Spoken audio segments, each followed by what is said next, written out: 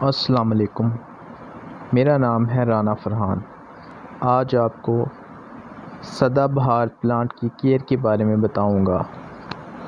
अगर आप हम, हमारे चैनल पर न्यू हैं, अगर आपने हमारा चैनल गार्डनिंग होम को सब्सक्राइब नहीं किया तो आप मेरे चैनल को सब्सक्राइब कर लें और बेल नोटिफिकेशन को ऑन कर लें। ये जो प्लांट है सदाबहार का प्लांट है। ये बहुत इजी टू ग्रो है। इसको विंका प्लांट भी जो है कहते हैं। ये बहुत इजी टू ग्रो है। ये आप देख लें।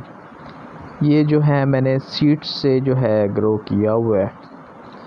इसको आपने जो है ज़्यादा पानी नहीं देना।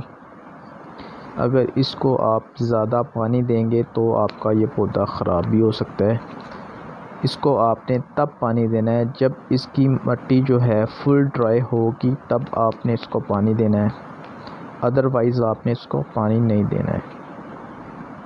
ये इजी टू ग्रो है। इसको ज़्यादा जो है, खाद वगैरह और फर्टिलाइज़र वगैरह की ज़रूरत नहीं होती।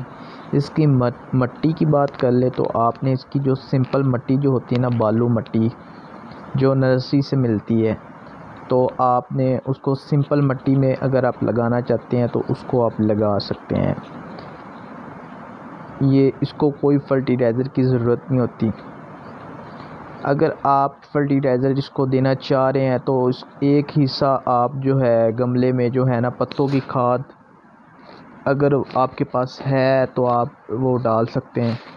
गोबर की खाद डालनी है तो वो अगर आपके पास पड़ी है तो डाल लेते हैं। लेकिन मैंने तो ना इसके ऊपर गोबर की खाद डाली है, ना मैंने पत्तों की खाद डाली है। मैंने इसको सिंपल जो मिट्टी होती है ना, उसके अंदर ही लगाया ये आप ग्रोथ इसकी चेक कर लें कि इसकी कितनी हेल्दी ग्रोथ जा रही है। इसको ज़्यादा खाद वगैरह की ज़रूरत नहीं होती।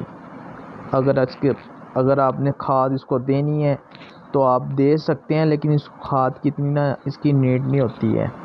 इसको आपने पानी, बस आपने इसको पानी जो है ना पानी जो है आपने कंट्रोल करना है। पानी इसको आपने कम देना है। अगर ज़्यादा पानी देंगे, फिर आपका पानी जो है प्लांट ख़राब हो जाएगा। अदरवाइज़ आपका प्लांट ये ख़राब नहीं होगा। हफ़्ते में आपने एक मरतबा जो है, इसको फंगी साइड का स्प्रे लाजमी करना है आपने। इसमें एक ये वाइट कलर होता है। और इसमें एक पर्पल कलर होता है। ये जो है मेरे पास देसी वैरायटी है, इसमें हाइब्रिड वैरायटी भी आती है, वो मेरे पास नहीं पड़ी हुई। तो जब मैं नर्सरी से लेके आऊँगा इन उस पर मैं वीडियो बनाऊँगा। उम्मीद है कि आपको हमारी वीडियो अच्छी लगी है। अगर हमारी वीडियो अच्छी लगी है तो हमारे चैनल को सब्सक्राइब कर लें और लाइक करें और अपनी दुआओं में याद रखें।